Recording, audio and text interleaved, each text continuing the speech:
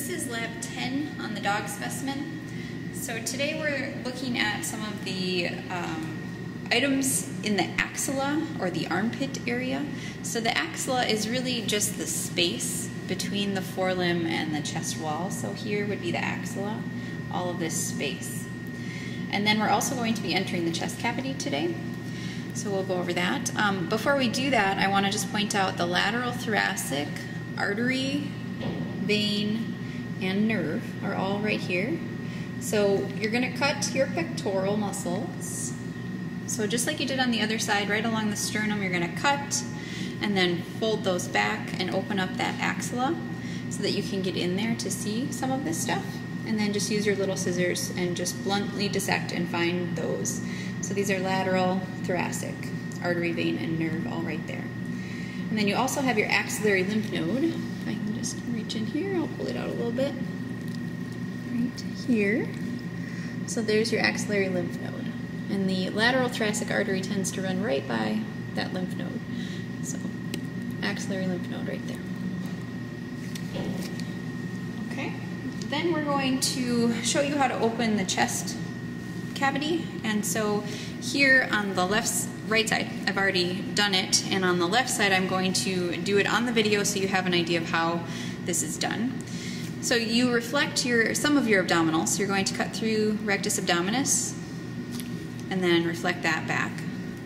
And then you're going to cut through some of your external abdominal oblique. I just cut through a little part of it. It tells you to reflect the whole thing, but I don't think that's necessary. So I just reflect the part that's on the rib cage. And you also are going to have to reflect your latissimus dorsi here a little bit, just enough to get it so you can open this chest wall. So then you're going to take um, a pair of pruners that look like this. We have several pairs available in lab. And you're going to take the pruners and you put them in at the end of the sternum and you're going to cut from the end of the sternum all the way up through the first rib. So we'll show you that on the other side. And once you do that, then you will be able to kind of pull that chest wall a little bit and then you're going to cut right in front of the diaphragm. So here you can see the diaphragm is here. And so you don't want to actually enter the abdominal cavity just yet, so you want to stay just in front of that and make a cut down towards the back.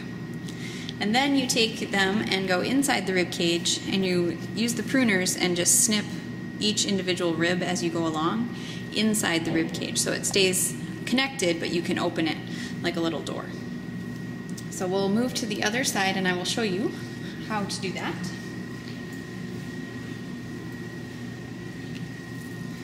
So here on the left side we reflected the rectus abdominis and you've already reflected all of your other muscles, so that's helpful. I'm just going to tip the dog up just a little bit.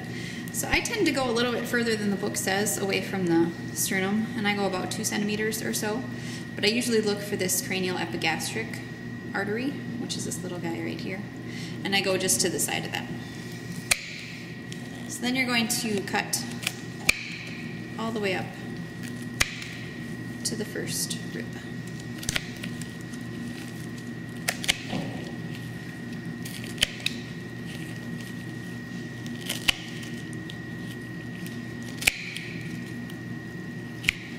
So there we made it all the way through. Then you'll kind of peel this open a little bit. And if you see this muscle right there that's still attached, this is the transversus thoracis. And you'll end up actually having to cut through that also. It's very thin, so very easy to cut through, or it usually rips too. That's okay. You just cut through that. And now we're in the chest, and you're going to come and feel where the diaphragm is with your finger so that you're not cutting into the abdominal cavity. Then you take the snips again, just go right in front of the diaphragm. Just feel your way along, making sure you're not entering the abdominal cavity.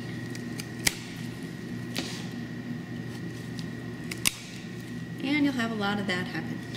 A lot of fluid will come out, and it's a little bit of a messy lab. Okay. Then you hold this open or have somebody help you hold it open, one of your lab partners, and you're going to go in and snip on inside. So here, I'll just show you. But you're gonna move down here and put the snips down inside and then snip each one. So I will do that now. So just bear with me. This does take a minute. So. And on the dogs, you do need a little bit more force than on the cats. Cats tend to be able to do it with like a big scissors. Don't necessarily need the pruners. But on the dogs, you definitely need a little bit more oomph.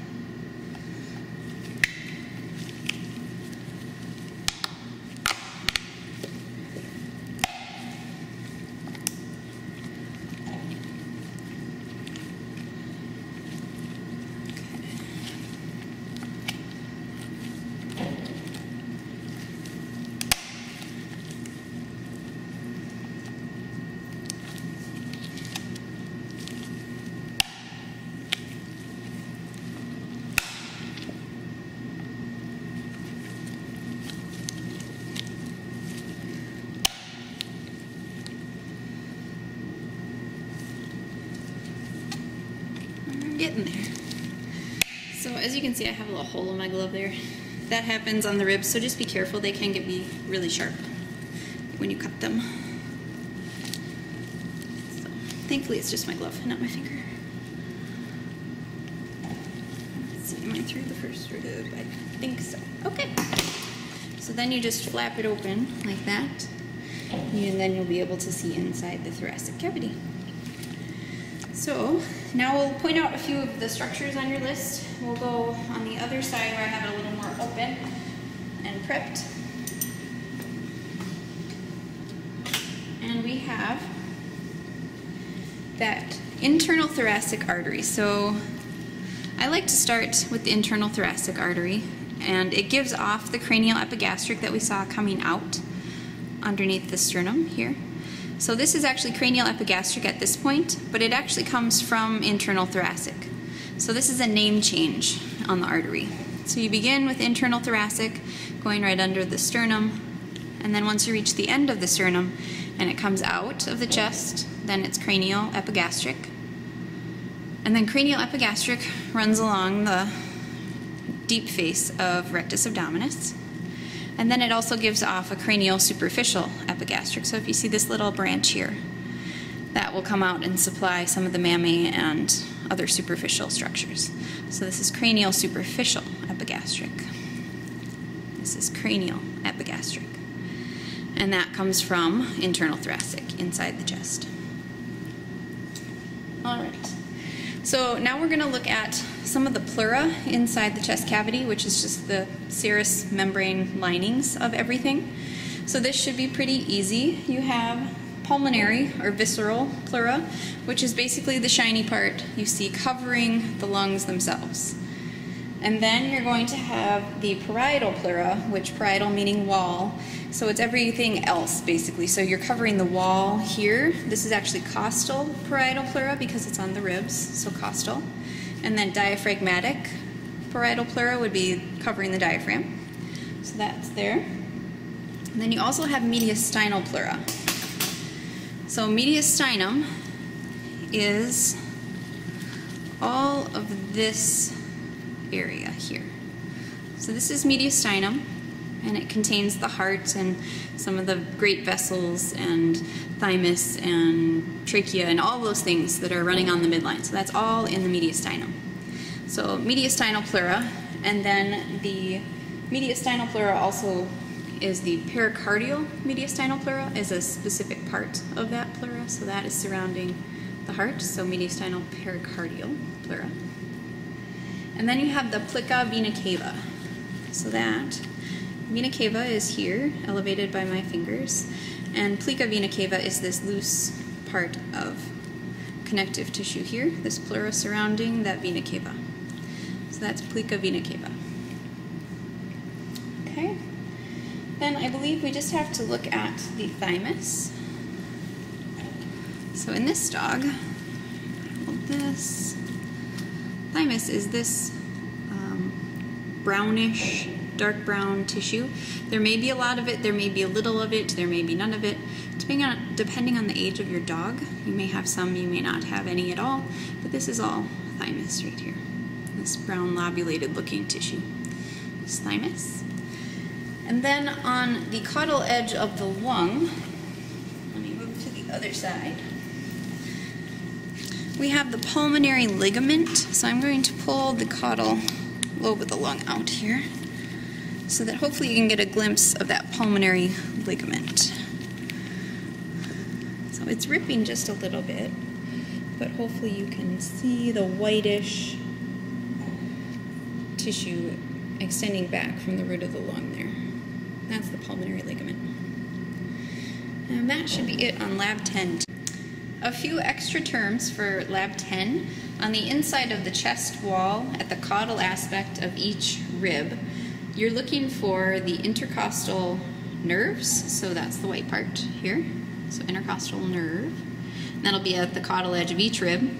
And then you also have the intercostal artery and vein here. And the arteries, you have dorsal intercostal artery, which is going to be up towards the dorsal part, so towards the back. And then you have ventral, which will be the ventral aspect. It's a regional term because they anastomose, and there's not actually separate pieces. It's, it all is continuous with each other. So dorsal towards the dorsal part, and ventral towards the ventral part. And those are intercostal artery and intercostal nerve.